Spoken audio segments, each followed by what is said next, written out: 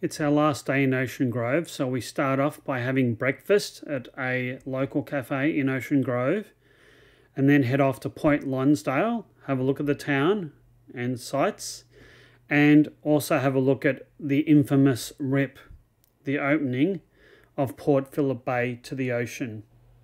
Join me for part two of our weekend away to Ocean Grove.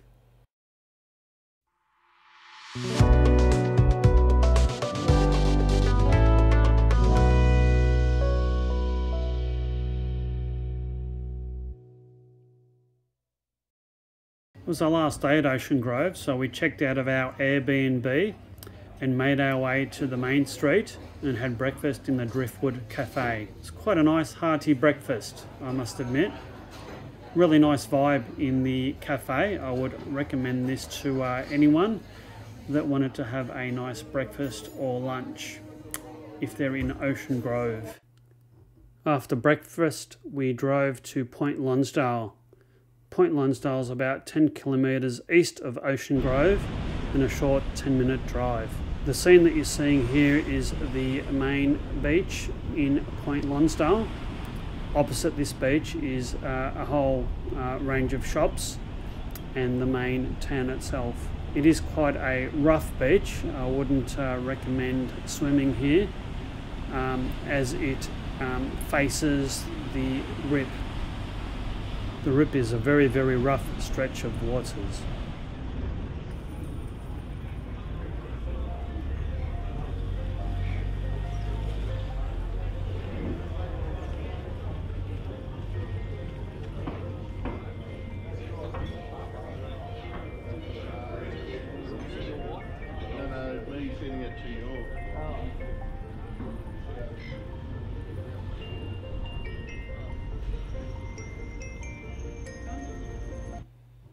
I'm standing in Point Nepean, overlooking the Rip and looking out into the ocean into Bass Strait.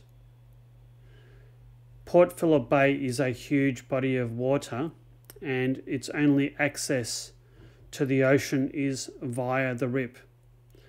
The Rip is the body of water between uh, the Bellarine Peninsula, where I'm standing, and the land over the other side which is the Mornington Peninsula.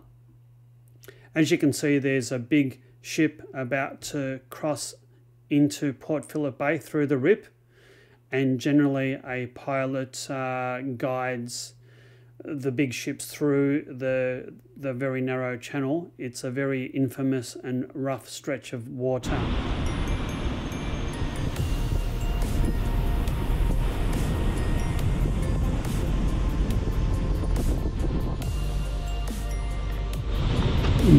Point Lonsdale Lighthouse.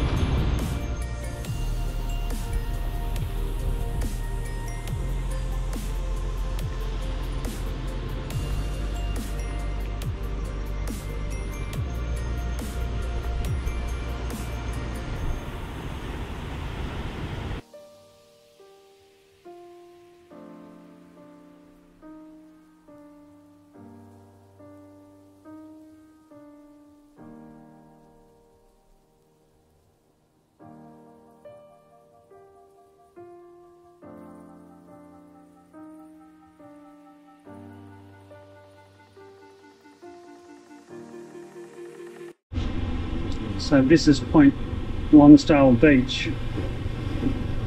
Quite a rough beach, rocky, and there's no way I'd swim here, very, very strong currents. Also, incidentally, not a speck of foam anywhere to be seen. Must be all the organic material from the Barwon River that's been uh, going out into the by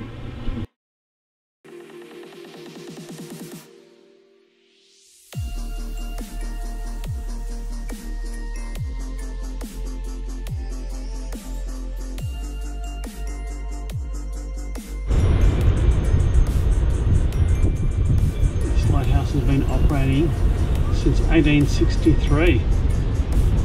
That's a very long time.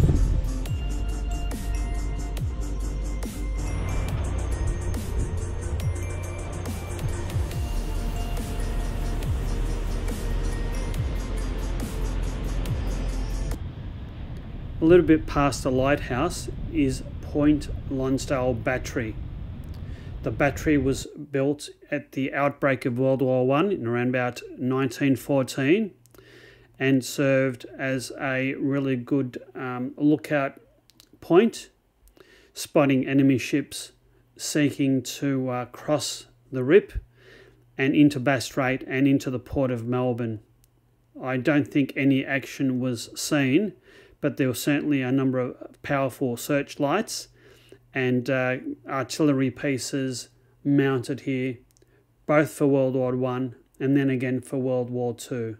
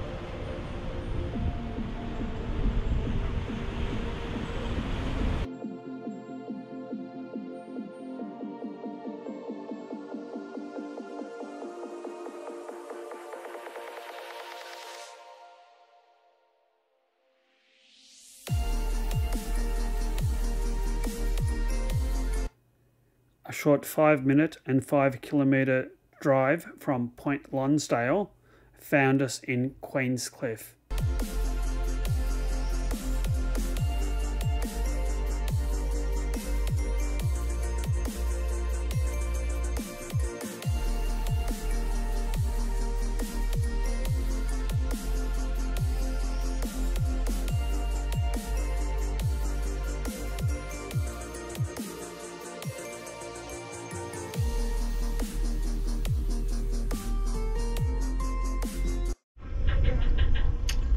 So I am standing on the edge of Queenscliff Marina, just in Queenscliff, the port of Queenscliff. It's a fantastic sunny day. I haven't got any sunscreen on, so I hope I don't get burnt. Let's have a look around the marina, shall we? So these are pilot boats. These are the boats that uh, meet the very big container ships and a pilot jumps on one of those container ships and guides it through the Rip and through Port Phillip Bay, which apparently is quite difficult and challenging to navigate from the Rip to the Port of Melbourne. It's quite a shallow bay and there's specific shipping channels that need to be followed otherwise the ships run the risk of running aground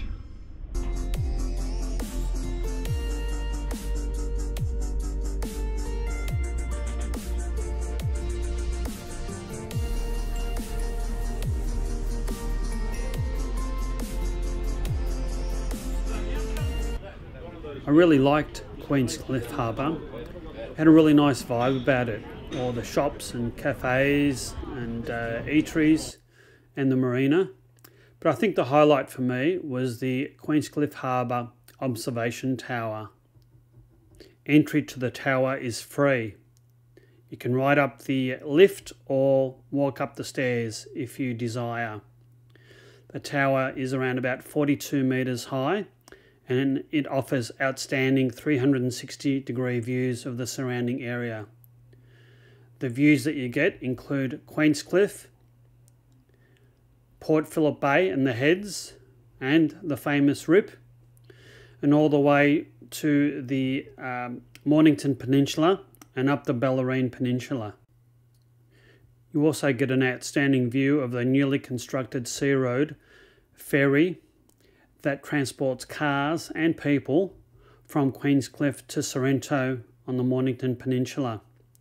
As you can see, there's cars um, getting off the ferry, and shortly, cars will be getting on the ferry to make the uh, the journey. It costs around $170 to transport a normal car and two adults on the ferry. The journey takes about oh, around 40 to 45 minutes, but the alternative would be a 210 kilometre drive and roughly three hours, depending on the time of day, to uh, go via road. What you're seeing now is the Queenscliff Marina, Mud Island, and Port Phillip Bay. In the distance, very hard to see, is the skyline of the city of Melbourne.